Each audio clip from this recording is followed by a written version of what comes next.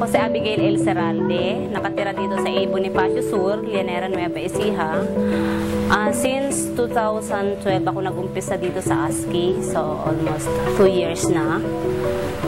And yung ginamit kong yung loan sa livestock, kasi as a teacher, um, kailangan ko ding ah, dagdagan yung income ko kasi I have three children so hindi rin mostly hindi rin kasi nakakasapat yung ah, salary ko so kailangan kong ah, magkaroon din ng ibang pinagkukunan Simula po itong bank project namin phase 2 noong December 2013. So nag-start po kami with uh, 14 clients. Sinubukan po muna namin kung paano uh, magiging sistema, kung maganda yung magiging payment ng mga uh, kliyente natin dito sa Rizal branch. So, simula po kami magpa-release o niroll out na po namin January 2014 dahil nga po uh, maganda yung naging feedback ng 14 clients na nauna natin ipa-release. So sa ngayon po, uh, sa February 7, 2014, meron kami 153 clients na naka-under dito sa Banco with 1,633,000 uh, loan portfolio. Dati kasi, nung, dati nung nag-recycle, pumunta pa ako sa office, through cash yun na nakukuha namin sa office. Then, after, uh, after nun, uh, nung nag-renew ako, neto na, so yun na, present na sa amin yung mobile banking. So doon ko na nalaman, doon na sinabi sa amin yung uh, through ATM na makukuha yung sa yung loan. So doon nakita ko rin yung advantage nga nun na yung ah, mas madali na lang. So eh, malilesa na yung time mo na pagpunta doon na yung kasi 45 minutes kang pupunta doon. So, kailangan habulin mo yung oras para hindi ka mapagsarahan ng office, di ba? So, yun. So, pag sa Truth ATM na, malalaman mo na doon, magte-text ka na lang, titingnan mo na lang sa phone mo kung andun na yung loan, pumasok na. So, yun yung isang kainaman ng True Mobile Banking. And, yun nga, makakakuha ka pa ng ibang business sa load. So BPI Globan ko po. So ah, mobile banking po siya. Ang requirements po namin, fill up lang po tayo ng ah, application form and then photocopy po ng ID at saka po payment na 140 or 110. 110 pesos po yung babayaran natin kapag po manggagaling po sa inyo yung ire-registered na SIM card. And 140 po kapag po bibili po kayo sa amin ng SIM card. Ah, after po nun, ang gagawin po natin, after po ma-orient ni ma-orient ko si client about sa mobile banking, ah, ire-registered ko na po siya sa ah, sa BPI Globan ko. Mag, ah, ang una po nun, ire-registered ko po yung SIM card niya or yung SIM card na binili niya sa amin pa- para po ah, magkaroon siya ng sariling account sa banko. After po nun, iki-KYC po namin siya or known your ah, customer or known your client. Yun po yung KYC. After po nun, ililink po natin yung ah, SIM card na na-registered doon sa ATM. After po nun, ah, kakash inan po siya ng initial 50 fund. Kasi po, meron na pong kasamang 50 pesos na initial deposit yung ah, ATM nila sa 140 at sa 110 na babayaran nila.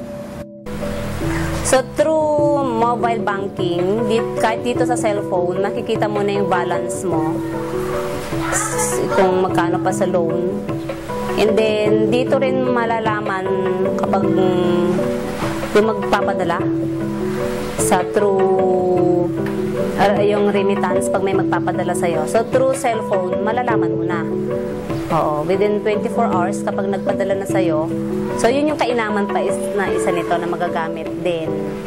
Oo, hindi lang sa akin, kung yung mga ibang makaka-experience din, ay through cellphone, makikita na nila kung dumating na yung padala, magagamit mo pa as remittance through abroad and through ano, local.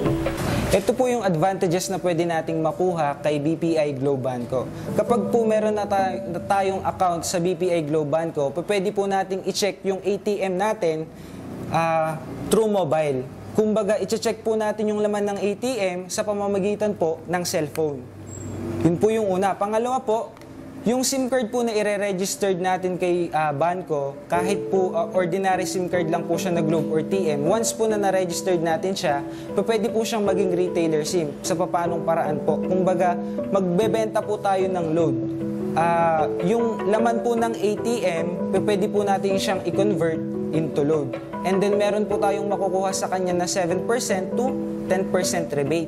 Ano po yung rebate? Siya po yung nakukuha nating savings sa paglo-load. For example po, nag-load po si, ah, ako po, nagpa-load po ako kay client ng 100 pesos. Ang mababawas lang po sa account ni client is 90 pesos. Tipid na po kaagad siya ng 10 pesos. Yun po. Ah, pangatlo po, sa remittance po. Kung meron pong mga nagpapadala sa inyo, po, pwede po na po, ah, direkta na po silang magpadala dito sa ATM. And then kung kayo naman po yung nagpapadala ng pera sa mga kaibigan or ah, kamag-anak, pagkapamilya sa ibang lugar, basta po meron sila, basta po meron kayong parehas na ah, bangko account, pwede, pwede nyo po siyang padalan direkta. Kumbaga, kahit nasaan po kayo, kahit nasa bahay lang po kayo, makakapagpadala po kayo sa kanya. May mga kliyente kami na talagang nagpapasalamat dahil ah, nakaisip ng ganitong programa ang ASCII. So kahit na nasa malayong lugar sila, nasa Kuwait, natuturuan natin sila ng ah, modernong teknolohiya. Kahit na simpleng tao lang sila, natutuwa sila dahil ah, nalalaman nila yung ah, mga, mga, mga bagong teknolohiya. So yun po. Uh, may mga partners tayo na minsan hindi hindi pa maintindihan sa umpisa pero sa pagdating ng panahon, sa pagpapaliwanag natin, hindi tayo nagsasawang magpaliwanag sa kanila kung ano talaga yung kagandahan ng mobile banking. So yun, hanggang sa, hanggang sa pag nagtagal po ay talagang nakikita nila yung kagandahan ng mobile banking. Mga benefits nito, hindi tayo nagsasawang magpaliwanag sa kanila. Hindi tayo uh, napapagod na paliwanagan sila kung ano yung kagandahan at advantage nitong mobile banking. Yung talagang ipina-experience po namin sa kanila na magpunta sa bangko at uh, maka, maka-experience ng